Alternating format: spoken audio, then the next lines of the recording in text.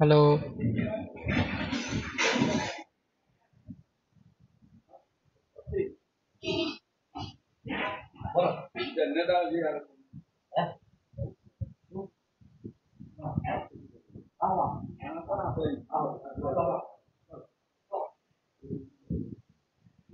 Hello અવાજ ચાલુ છે ને બધાને હેન્ડ રેઝ કરો એકવાર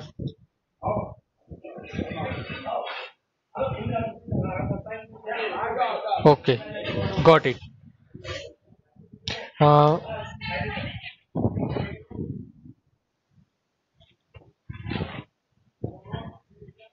આપણે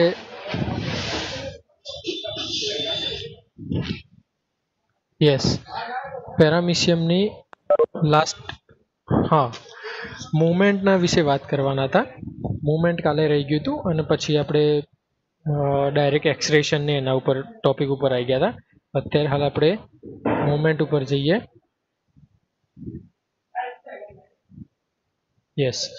Uh, the outer surface of the cell is covered with many hundreds of tiny hair like structures are called cilia. એટલે આપણે પેરામિશિયમની અંદર કાલે વાત કરી હતી એમ કે એની અંદર સિલિયા સ્ટ્રક્ચર હોય. આ જે સિલિયા છે, એ બીજું કંઈ નહીં, પણ એક નાના હેર લાઇક સ્ટ્રક્ચર્સ હોય, જે સૂત્રાંગો જેવી રચના બનાવતા હોય. બરાબર? તો આ એક જે રચના છે, એના દ્વારા એમની અંદર મુવમેન્ટ્સ જોવા મળતું હોય. તો આપણને ખબર છે કે આ બધા જે છે એનિમલ્સ ઓર્ગેનિઝમ્સ પેરા જે પેરામિશિયમની જેટલી સ્પીસીઝ છે, બરાબર? એ બધી જ સ્પીસીઝ એ આપણને ખબર છે કે દરેકે દરેકની અંદર સૂત્રાંગો જોવા મળતા હોય જ બરાબર? જો એ સૂત્રાંગો જોવા ના મળતા હોય તો એ પેરામિશિયમની અંદર પેરામિશિયમ પ્રોટિસ્ટાની અંદર કેટેગરીની અંદર એ ઇન્ક્લુડ કરી શકાતું નથી. તો આ એક વસ્તુ ખાસ ધ્યાન રાખવાની. એના પછી આપણે બીજી વાત કરીએ તો these act like uh, microscopic a- uh, ears to push through the water enabling the organism to swim. if paramecium uh, comes uh, uh, comes across an obstacle one minute huh? yes thank you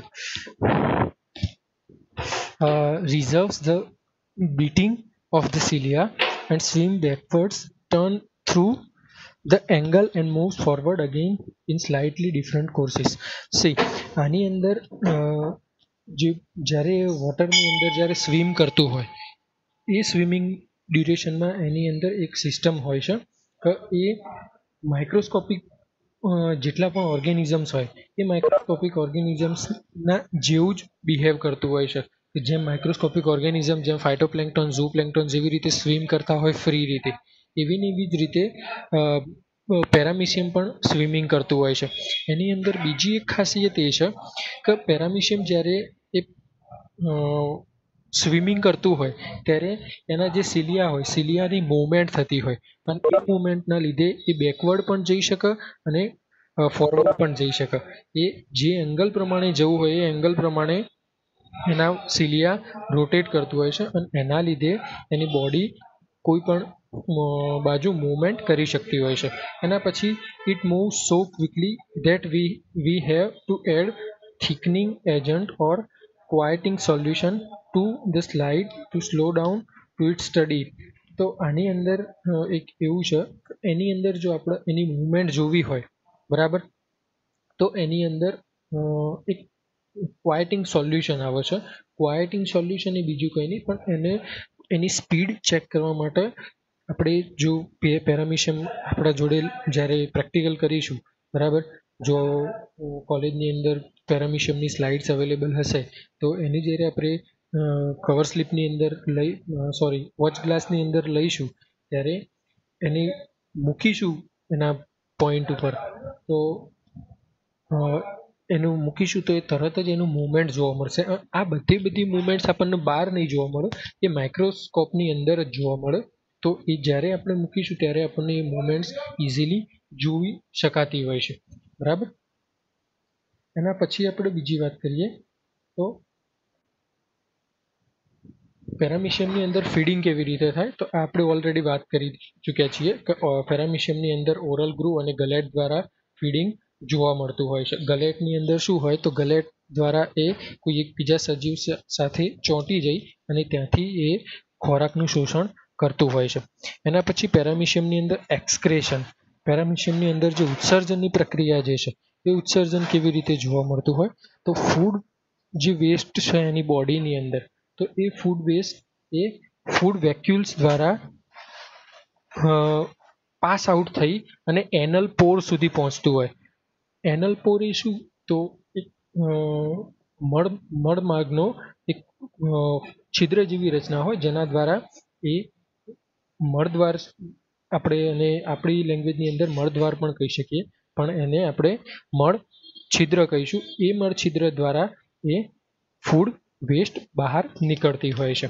એના પછી other waste left over the over from cellular activity simply diffuse through the pellicle એટલે કે આની અંદર જે metabolic waste છે, એ metabolic waste એટલે મતલબ જે વધારાની જે સેલ્યુલર એક્ટિવિટી દ્વારા જે વેસ્ટ તૈયાર થાય છે. દાખલા તરીકે સેલની અંદર રાઇબોઝોમ છે. બરાબર? સોરી રાઇબોઝોમ ગોલ્ગી બોડીઝ ચિંતા ના કરશો. Divya Divya or who is that જેને ઇંગ્લિશમાં છ કે નહીં એનો મેસેજ કર્યો છે. ડોન્ટ વરી આનું ગુજરાતી મટીરિયલ તમને આપી દઈશ.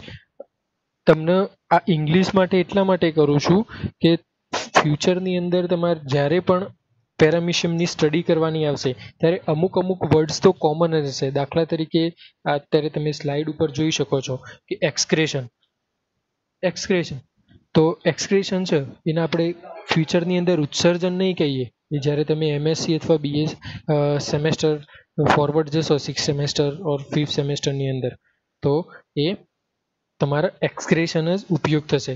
મેટાબોલિઝમ છે તો આપણે એને ગુજરાતીની અંદર દેહ ધાર્મિક ક્રિયા કહીએ. પણ દેહ ધાર્મિક ક્રિયા એની અંદર નહીં વપરાય. એ મેટાબોલિક એક્ટિવિટી તરીકે વપરાય. તો આવા વર્ડ્સ તમારે ધ્યાન રાખવાના. ચિંતા ના કરશો. મટીરિયલ તમને આપી દઈશ ગુજરાતીની અંદર. અત્યારે હાલ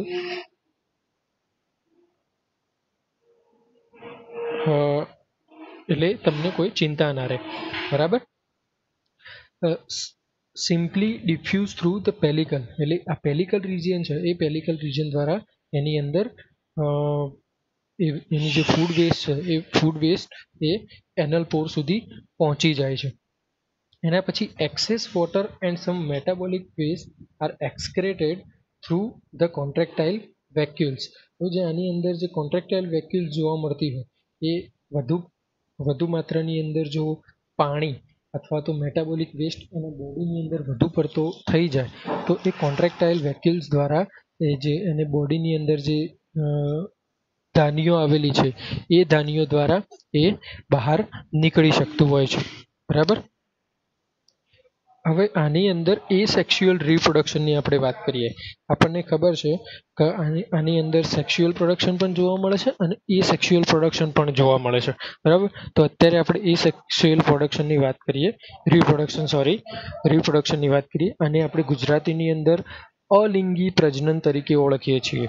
બરાબર? તમે અગિયાર બાર સાયન્સની અંદર અલિંગી પ્રજનન શું છે? એના વિશે આપણે ઓલરેડી સ્ટડી કરી ચૂક્યા છીએ. તો અહીંયા તમે જોઈ શકો છો કે એ લિંગી પ્રજનન અલિંગી પ્રજનન છે, એ કેવી રીતે જોવા મળતું હોય. તો દાખલા તરીકે આ એક પેરામિશિયમ છે.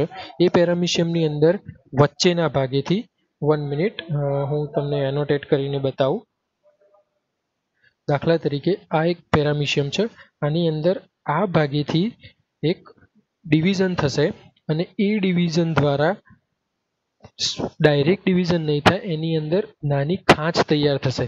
અને આ ખાંચ દ્વારા આવી રીતે જે આ ખાંચ તૈયાર થઈ, આ ખાંચ દ્વારા એ ધીરે ધીરે સંકોચાતું જશે અને પછી આ ખાંચ વધુને વધુ નજીક આવતી જશે બંને બાજુથી અને પછી તમે છેલ્લે જોઈ શકો છો કે બે છૂટા પેરામિશિયમ, બે પેરામિશિયમ એકબીજા સાથે અલગ થઈ ગયા એક અલગ થઈ ગયા. તો આને આપણે અલિંગી પ્રજનન તરીકે ઓળખીએ છીએ. બરાબર?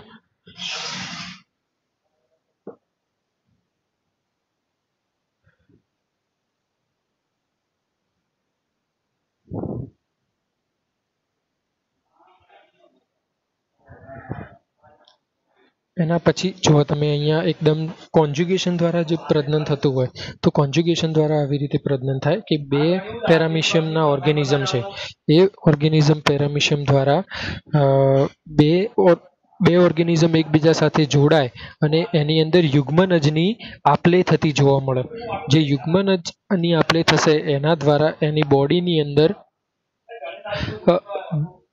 બે બે બેના પેરની અંદર આવી રીતે યુગ્મનજ બનશે અને એના પછી આ જે યુગ્મનજ છે, એ ફલિતાંડ બની અને નવા કોષ તૈયાર થઈ અને યુગ્મ કોષ તૈયાર થશે અને એ કોષ દ્વારા નવા પેરામિશિયમ બનવાની શરૂઆત થશે. એટલે આવી રીતે તમે જોઈ શકો છો કે બે પેરામિશિયમમાંથી હવે ચાર પેરામિશિયમ બની શકે છે. તો આવી રીતે બેમાંથી ચાર, ચારમાંથી આઠ, આઠમાંથી સોળ આવી રીતે ધીરે ધીરે વધતા જ જતા હોય છે. બરાબર? પેરામિશિયમની અંદર રિપ્રોડક્શનની આપણે ઓલરેડી વાત કરી દીધી. તો આ આપણે જે વાત કરી એની એ જ છે કે ફેવરેબલ કન્ડિશનની અંદર જે સેલ છે, એ divide into two by divide in two by process called binary fission એટલે કે દ્વિભાજનની પ્રક્રિયા છે. એ દ્વિભાજનની પ્રક્રિયા દ્વારા એમની અંદર એ સેક્સ્યુઅલ પ્રોડક્શન થાય લિંગી પ્રજનન જોવા મળતું હોય છે. This form forms two new cells each of which rapidly grow any new structures required in uh, increase in size. એટલે આની અંદર જે એની બોડીની અંદર બે નવા સેલ તૈયાર થશે અને એ સેલ ધીરે ધીરે ગ્રો કરવાનું શરૂઆત કરશે અને પછી બે એમની સાઇઝની અંદર વધારો કરી અને બે નવી નવા ઓર્ગેનિઝમ તૈયાર થશે. હવે તમે આની અંદર જોઈ શકો છો કે સ્લાઇડની અંદર જ્યારે આપણે જોતા હોય, ત્યારે પેરામિશિયમની આવી રચના જોવા મળતી હોય. આ રિપ્રોડક્શન એ સેક્સ્યુઅલ રિપ્રોડક્શનની રચના આની અંદર બતાવેલી છે. સોરી આ સેક્સ્યુઅલ રિપ્રોડક્શનની રચના બતાવેલી છે. બરાબર? તો એ તમે ઇઝીલી જોઈ શકો છો. એના પછી જ્યારે પેરામિશિયમ કોન્જ્યુગેટિંગ થાય, એટલે કે પેરામિશિયમ એકબીજા સાથે જોડાય, ત્યારે આવી રીતે રચના જોવા મળતી હોય છે. અને આ જે છે એ ટ્રાન્સફર્સ બાઇનરી ફિઝન છે. એટલે કે ઉલટું દ્વિભાજનની પ્રક્રિયા છે. ઉલટા દ્વિભાજનની પ્રક્રિયાની અંદર માઇટોસિસની પ્રોસેસ થાય અને માઇટોસિસ દ્વારા બે પેરામિશિયમ એકબીજા સાથે જોડાઈ અને એની અંદર કોષોની આપલે થાય, યુગ્મ, યુગ્મકોષો બની અને યુગ્મકોષો વિભાજિત થઈ અને નવા ઓર્ગેનિઝમ તૈયાર થતા હોય છે. બરાબર? આની અંદર એડેપ્ટેશન. એડેપ્ટેશનની વાત કરીએ તો cilia to help feed and escape contractile vacuoles trichocyst આની અંદર જોવા મળતી હોય છે. આ બધું આપણે નેક્સ્ટ લેક્ચરની અંદર જોઈશું. આપણે ઓલરેડી ફર્સ્ટ લેક્ચર જે હતું, એની અંદર આપણે જોયું હતું. એડેપ્ટેશનની આપણે વાત કરીએ, ચલો અત્યારે હાલ ફિનિશ જ કરી દઈએ. ટાઈમ છે આપણા જોડે. સિલિયા જે છે, એ સિલિયા દ્વારા આપણે ફીડિંગ એસ્કેપનું કામ કરતું હોય છે. એના પછી કોન્ટ્રાક્ટાઇલ વેક્યુલ્સ છે, એ કોન્ટ્રાક્ટાઇલ વેક્યુલ્સ દ્વારા પણ એ એડેપ્ટેશન એડેપ્ટેશનની આપણે વાત કરીએ, ત્યારે એની અંદર કઈ કઈ ટાઈપના અનુસરણો જોવા મળતા હોય છે. કઈ કઈ ટાઈપના અનુકરણો જોવા મળતા હોય તો એ અનુકરણો પ્રમાણે એમની બોડી ડેવલપ થયેલી હોય છે. એ પ્રમાણે પછી લાસ્ટની અંદર ટ્રાયકોસિસની વાત કરીએ તો ટ્રાયકોસિસ્ટ એ સિસ્ટ વોલ તૈયાર થઈ અને એમની સમગ્ર બોડીને ડિફેન્સ સિસ્ટમ તૈયાર કરવાનું કામ કરતી હોય છે. એના પછી મૂવમેન્ટ તો મૂવમેન્ટ જે છે એ સિક્સટી એમએમ પર અવરના સ્પીડથી એમની મૂવમેન્ટ જોવા મળતી હોય છે. પછી એમની મેટાબોલિઝમની વાત કરીએ, તો મેટાબોલિઝમ જે છે એ food pulled into oral groove by cilia એટલે ઓરલ ગ્રુવ દ્વારા એમની ફૂડ એમના બો સિલિયા દ્વારા ઓરલ ગ્રુવની અંદર ફૂડ ખેંચ, ખેંચવામાં આવે છે, દબાવવામાં આવે છે. અને પછી એની અંદર ગલેટની અંદર એ જે ફૂડ છે, એ ફૂડ એ ડેવલપ થઈ ફૂડ એ વેક્યુલ્સની અંદર એન્ટર થઈ જાય છે. બરાબર? અને પછી લાઇસોઝોમ છે. એ લાઇસોઝોમ એ ડાયજેશનની પ્રોસેસ સ્ટાર્ટ કરી દેતું હોય છે. આપણને ખબર છે કે બોડીની અંદર જે કોઈ પણનું પાચન કરવાની વાત હોય કોષની અંદર, તો એ લાઇસોઝોમ બોડીઝ દ્વારા એ એનું પાચન થવાની પ્રક્રિયા થતી હોય છે. એના પછી ફીડ મોસ્ટલી શેના ઉપર ફીડિંગ કરે છે? તો એ બેક્ટેરિયા ઉપર સ્મોલ પ્રોટોઝોન્સ ઉપર અને આલ્ગી ઉપર, એટલે કે લીલ ઉપર. તો કોના ઉપર? બેક્ટેરિયા ઉપર. એના પછી જે નાના કદના જે પ્રજીવો છે, એ પ્રજીવ ઉપર કરે અને એના પછી આલ્ગી ઉપર કરતું હોય છે. તો આવી રીતે ત્રણ દ્વારા એમનું ફીડિંગ થતું હોય છે. એના પછી એક્સક્રેશન. તો આ બધું જ આપણે ઓલરેડી આગળના લેક્ચરની અંદર જોઈ ગયા છીએ. અને આના જે નુકસાનો છે, એ નુકસાનો આપણે પછી સ્ટડી કરીશું. બરાબર? કારણ એ અલગથી આપણે પ્રજીવોના ફાયદા અને ગેરફાયદા વિશે આવે છે, તો એ આપણે આગળ સ્ટડી કરીશું, બરાબર?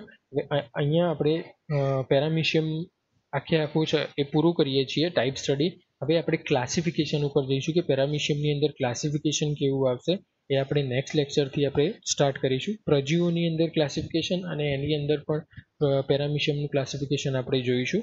એટલે આ યુનિટ વનની અંદર આપણું ટોપિક ટુ પણ ફિનિશ થઈ જશે. બરાબર? વેઇટ મિનિટ હું શેરિંગ બંધ કરું છું. ઓકે અત્યારે હાલ કેટલા પાર્ટિસિપન્ટ કોણ વેઇટિંગ કરી રહ્યું છે? આ બે જણ હવે એન્ટર થયા. વાહ.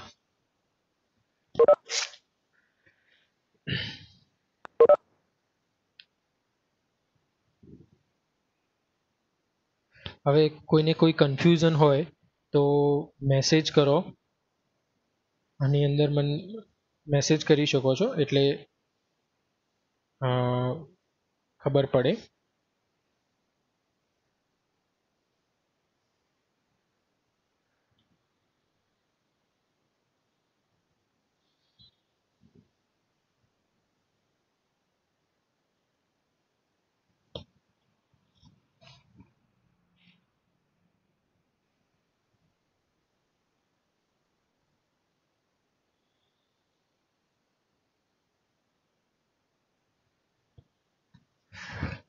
પીડીએફની તમે વાત કરી, તો ગુજરાતીની અંદર હું પીડીએફ પણ આપી દઈશ ડોન્ટ વરી તો શું છે તમને રીડિંગની અંદર કોઈ કન્ફ્યુઝન ના રહે. હવે મારે તમને એક વસ્તુ પૂછવી હતી. વેબેક્સની અંદર તમારો જસ્ટ ફોર્મલ ક્વેશ્ચન છે. વેબેક્સની અંદર તમારો ડેટા કેટલો વપરાય છે? બરાબર? મેસેજની અંદર તમે લખી શકો છો કે બધું પૂરો થઈ જાય છે, ફિફ્ટી પર્સન્ટ બાકી રહે છે, કે મિનિમમ ડેટા વપરાય છે કે શું છે, તો જણાવો, તો હંડ્રેડ એમબી, ઓકે. એટલે પર લેક્ચર હંડ્રેડ એમબી કે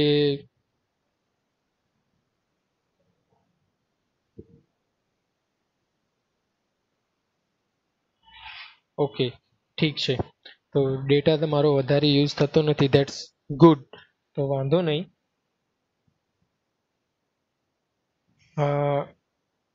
કારણ કે ઘણા સ્ટુડન્ટ્સના ક્વેશ્ચન્સ એવા હતા કમ્પ્લેન્સ હતી. કે સર વેબેક્સની અંદર મારો ડેટા બહુ જ વપરાય છે. તો એવું કંઈ ના હોય તો આપણે વેબેક્સ સાથે જ કન્ટિન્યુ કરીશું. બાકી આપણે ફ્યુચરની અંદર પ્લાનિંગ એવું હતું કે ઝૂમની અંદર, તમને આની અંદર કન્ફ્યુઝન હોય તો આપણે ઝૂમમાં કરી શકીએ. બરાબર? પણ તમને કોઈ કન્ફ્યુઝન નથી દેટ્સ રિયલી ગુડ ઓકે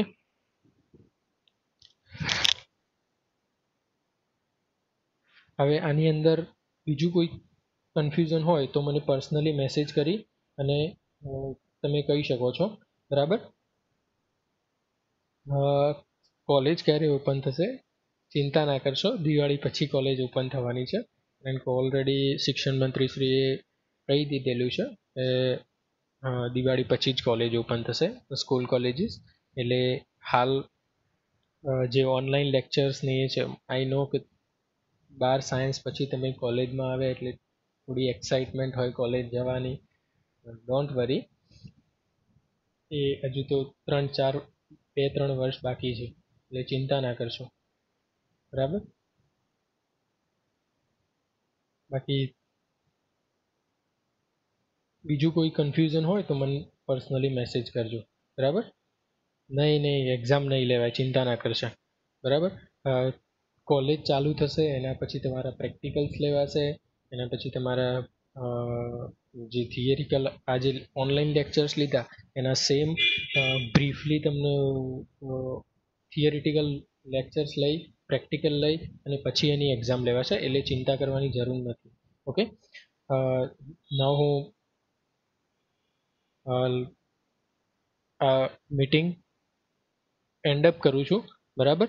આપણે નેક્સ્ટ મંડે આપણે સોરી સેટરડે મળીશું. Okay bye